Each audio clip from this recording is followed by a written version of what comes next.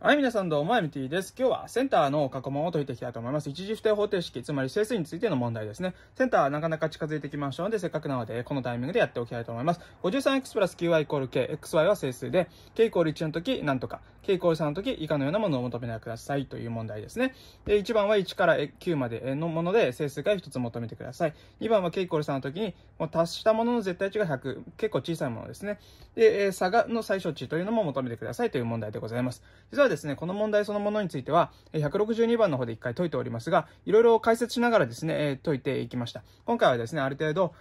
まあ、細かいことは置いといて答えを出すといいますか、まあ、実践的な方法で、解いていきたいという感じでございますので、ぜひともお楽しみください。というわけで僕のチャンネルではこういう問題を通してですね、数学より深く理解していこうという趣旨のチャンネルでございます。計算が大変だとしても、構造的なものを理解して、さささっとですね、難しいところをきちんと理解して、そして本質的でないところは、まあ、ちゃちゃっと済ませていこうとというような趣旨でございますので、えぜひともチャンネル登録よろしくお願いします。というわけで、えー、行っていきましょ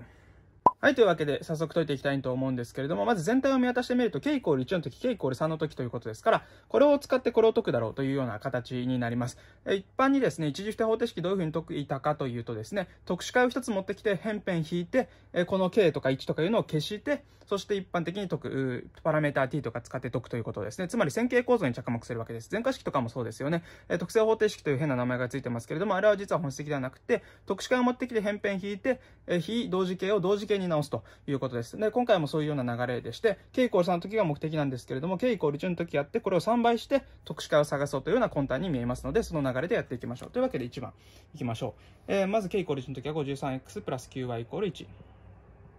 というわけで、x を求めたいので、このケースで消してしまいます。つまり、モド q を取ると、マイナス x がモド q の中で1ということがわかるので、x がマイナス1、つまり8ですね。というわけで、8が、1から9の間では8が答えになります。そして特殊解を求めるというような流れですから、この段階で y も求めておきましょう。そうすると、x が 53×8 プラス 9y イコール1というものの解になっているので、y としては9分の1引く、えっと、5端10、3波24、424、5端ですね。423のマイナス。で、これがいくつかというと、黒えっと、串36の、えっと、串63なので、マイナス47ですね。という感じです。というわけで、まあ、一応これは後ほど絶対使うだろうという感じですね。つまり、2番においては、k イコール3の時、つまり 53x プラス 9y イコール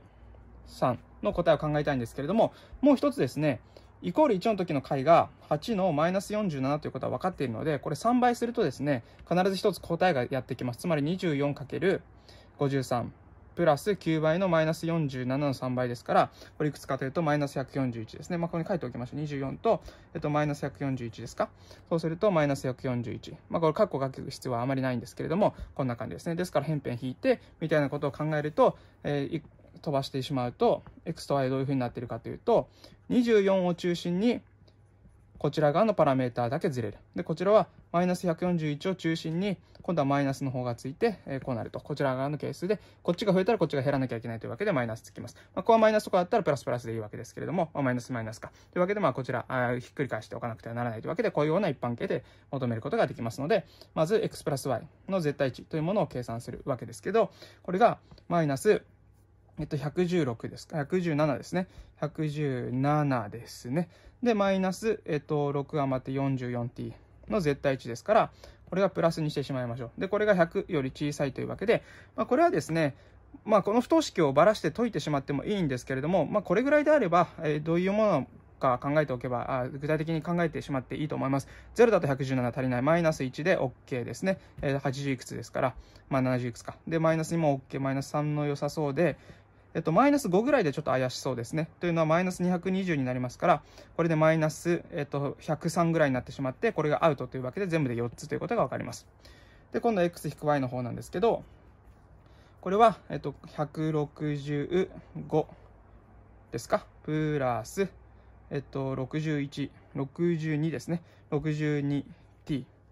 の絶対値というわけで、これの最小値なんですね。でこれって関数のグラフとしてどういうふうな形になっているかということなんですね。t の関数として。これ例えば ft みたいなことで置いておくと、大体のグラフとしては、えっと、これが0になる瞬間で折れ曲がるというだけですから、えっと、マイナス62分の165で折れ曲がっていて、こんな形のグラフになっています。でそうすると整数値しか t は取れないので、どこが近いかというと、マイナス3とマイナス2の間にあるんですが、どちらがこれ近いかというと、まあ、これ3倍すると186ぐらいですから、こちらの方が近いですね。で、2の方が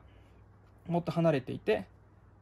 まあ、こんな感じになっているわけで、最小値はむしこちらを取りますね。というわけで、t がマイナス3の時、最小値としては165、x-y の、ま、最小値ですけれども、これは165引く、えっと、186ですね。先ほど言ったように186になって、これの絶対値ですから、21という答えが出ます。はい、というわけで、まあ、これぐらいのスピードといいますか、えっ、ー、と、何をすればいいか、何をする必要がないのかということをですね、頭の中に入れておいて、まあ、こういう問題全体見渡して、これはこれのためにあるんだみたいなことを頭の中に入れてやっていくのが、あ望ましいわけですね。もちろん、k イコール3の時独立にやるという方法もあって、この辺全部無視して、これ両辺9、モード9取ってですね、例えば、マイナス x が9の中で3ですから、x がマイナス3、つまり、